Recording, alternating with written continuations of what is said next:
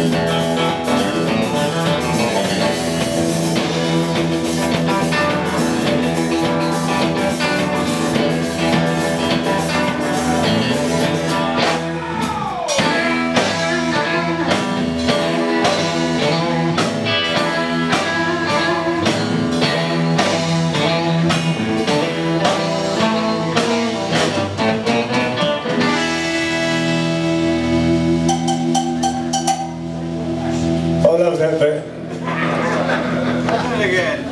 I love doing encores as well.